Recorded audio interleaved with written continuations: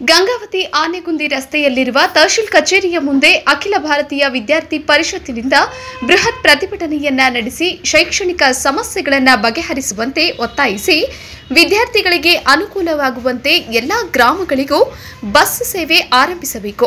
ಶಿಷ್ಯ ವೇತನವನ್ನ ತಕ್ಷಣವೇ ಬಿಡುಗಡೆ ಮಾಡಬೇಕು ಮತ್ತು ವಸತಿ ನಿಲಯಕ್ಕೆ ಸಂಬಂಧಿಸಿದ ಸಮಸ್ಯೆಗಳನ್ನು ಕೂಡಲೇ ಬಗೆಹರಿಸಬೇಕು ಎಂದು ಒತ್ತಾಯಿಸಿ ಸರ್ಕಾರಕ್ಕೆ ಬರೆಯಲಾದ ಮನವಿ ಪತ್ರವನ್ನ ಉಪ ತಹಶೀಲ್ದಾರ್ ವಿಎಚ್ ಹೊರಪೇಟೆ ಅವರ ಮೂಲಕ ಸಲ್ಲಿಸಲಾಯಿತು. ಎಬಿವಿಪಿಯ ಜಿಲ್ಲಾ ಪ್ರಮುಖರಾದ ಸರ್ವಜ್ಞ ಮೂರ್ತಿ ಅವರ ನೇತೃತ್ವದಲ್ಲಿ ನಡೆದ ಪ್ರತಿಭಟನೆಯಲ್ಲಿ ಪ್ರಮುಖ ಸದಸ್ಯರುಗಳಾದ ಲಕ್ಷ್ಮೀ ಭೋಸಲೆ, ಅಯ್ಯನಗೌಡ, ಸುಶ್ಮಿತಾ ಅಂಬರೀಶ್ ಹಾಗೂ ನೂರಾರು ಸಂಖ್ಯೆಯ ಕಾರ್ಯಕರ್ತರು ಪಾಲ್ಗೊಂಡಿದ್ದರು. ರವರು ಸುಮಾರು ವಿದ್ಯಾರ್ಥಿಗಳು ಈ ಕಾರ್ಯಕ್ಕೆ ಆಗಮಿಸಿ, ಶೈಕ್ಷಣಿಕ ಸಮಸ್ಯೆ ಬಗೆಹರಿಸುವಂತೆ ಆಗ್ರಹಿಸಿ, ತಮ್ಮ ಮೂರು ಬೇಡಿಕೆಗಳ ಮನೆ ಪತ್ರವನ್ನು ಸನ್ಮಾನ್ಯ ಮುಖ್ಯಮಂತ್ರಿಗಳು ಕರ್ನಾಟಕ ಸರ್ಕಾರ ಬೆಂಗಳೂರಿನಲ್ಲಿ ಸಲ್ಲಿಸಿರುತ್ತೇನೆ. ಸದರಿ ಮನೆ ಪತ್ರವನ್ನು ಸ್ವೀಕರಿಸುತ್ತಾ ಇದೇ ಮಾನ್ಯ ಜಿಲ್ಲಾಧಿಕಾರಿಗಳು ಸನ್ಮಾನ್ಯ ಮುಖ್ಯಮಂತ್ರಿಗಳಿಗೆ ಸಲ್ಲಿಸುತ್ತ ತಮ್ಮಲ್ಲಿ ಅಖಿಲ ಭಾರತೀಯ ವಿದ್ಯಾರ್ಥಿ ಪರಿಷತ್ ಗಂಗಾವತಿ ನಗರದ ಘಟಕದಿಂದ ಇವತ್ತೇನು ಪ್ರತಿಭಟನೆ ಮಾಡ್ತಾ ಇದ್ದೀವಿ.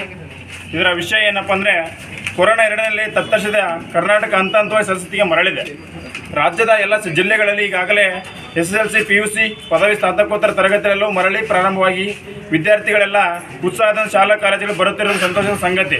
ಆದರೆ ಭೌತಿಕ ತರಗತಿಗಳು ಆರಂಭಗೊಳ್ಳದೆ ಬಳಿಕ ವಿದ್ಯಾರ್ಥಿಗಳಿಗೆ ಕೆಲವೊಂದು ಸಮಸ್ಯೆಗಳು ಉದ್ಭವಿಸಿವೆ. ಸೂಚನೆಯ ಕೆಳಗೆ ಉಲ್ಲೇಖಿಸಿದಂತೆ ವಿದ್ಯಾರ್ಥಿ ಪರಿಷತ್ತು ಇವತ್ತೇನು ಹೋರಾಟ ಮಾಡ್ತಾ ಇದೆ ಅಂದರೆ ವಿದ್ಯಾರ್ಥಿಗಳಿಗೆ ಸಂಬಂಧಪಟ್ಟಂತೆ ಹಳ್ಳಿಗಳಿಂದ ಬರ್ತಕ್ಕಂಥ ಸುಮಾರು ವಿದ್ಯಾರ್ಥಿಗಳಿಗೆ ಬಸ್ಸಿನ ಸಮಸ್ಯೆ ಉಂಟಾಗಿದೆ.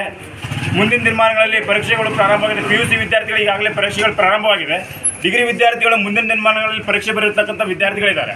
ಅಂಥ ವಿದ್ಯಾರ್ಥಿಗಳಿಗೆ ಹಳ್ಳಿಗಳಿಂದಾಗಿ ಬರ್ತಕ್ಕಂಥ ವಿದ್ಯಾರ್ಥಿಗಳಿಗೆ ಕೂಡಲೇ ರಾಜ್ಯ ಸರ್ಕಾರ ಹಳ್ಳಿಗಳಿಗೆ ಬಸ್ಗಳನ್ನು ಕಳಿಸ್ತಕ್ಕಂಥ ವ್ಯವಸ್ಥೆ ಮಾಡಬೇಕು.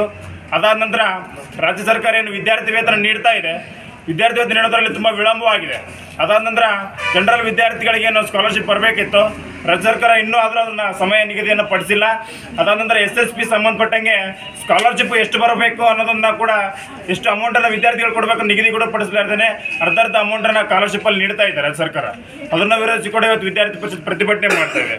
ಅದಾದ ನಂತರ ವಿದ್ಯಾರ್ಥಿಗಳ ವಸತಿ ನಿಲಯಕ್ಕೆ ಸಂಬಂಧಪಟ್ಟಂಗೆ ಹಲವಾರು ಸಮಸ್ಯೆಗಳಿದೆ. ವಿದ್ಯಾರ್ಥಿ ನಿಲಯ ವಸತಿಗೆ ಸಂಬಂಧಪಟ್ಟಂಗೆ ಏನು ಸಮಸ್ಯೆ ಇದೆ ಅಂತಂದರೆ ಹಲವಾರು ವಿದ್ಯಾರ್ಥಿಗಳು ಇವತ್ತು ಹಾಸ್ಟೆಲ್ಗಳಲ್ಲಿ ಇರ್ತಾ ಇದ್ದಾರೆ. ಹಳ್ಳಿಗಳಿಂದ ಬರ್ತಕ್ಕಂಥ ವಿದ್ಯಾರ್ಥಿಗಳು ಹಾಸ್ಟೆಲ್ ವಾಸ ಮಾಡ್ತಾ ಇದ್ದಾರೆ. ಅಂತ ವಿದ್ಯಾರ್ಥಿಗಳು ಸರಿಯಾದ ರೀತಿಯಲ್ಲಿ ಊಟದ ವ್ಯವಸ್ಥೆ ನೀಡ್ತಾ ಇಲ್ಲ. ಅದಾದ ನಂತರ ಅಲ್ಲಿ ಸುಮಾರು ಐವತ್ತರಿಂದ ಅರವತ್ತು ವಿದ್ಯಾರ್ಥಿಗಳಿದ್ರೆ ಅವರಿಗೆ ಶೌಚಾಲಯದ ವ್ಯವಸ್ಥೆ ಇಲ್ಲ. ಅದಾದ ನಂತರ ವಿದ್ಯಾರ್ಥಿಗಳಿಗೆ ಪುಸ್ತಕಗಳೇ ನೀಡಬೇಕಾಗಿದೆ. ವಸತಿ ನಿಲಯಗಳೆಲ್ಲ ಪುಸ್ತಕಗಳನ್ನು ನೀಡ್ತಾ ಇಲ್ಲ. ಇವೆಲ್ಲವನ್ನು ಕೂಡ ರಾಜ್ಯ ಸರ್ಕಾರ ಕೂಡಲೇ ಪರಿಗಣಿಸಿ ವಿದ್ಯಾರ್ಥಿ ಪರಿಷತ್ನ ಏನು ಆಗ್ರಹ ಮಾಡ್ತಾ ಇದೆ ಎಲ್ಲ ಸಮಸ್ಯೆಗಳನ್ನ ಕೂಡಲೇ ರಾಜ್ಯ ಸರ್ಕಾರ ಬಗೆಹರಿಸ್ಬೇಕಂತೇಳಿ ವಿದ್ಯಾರ್ಥಿ ಪರಿಷತ್ ಈ ಮೂಲಕ ಆಗ್ರಹ ಮಾಡ್ತಾರೆ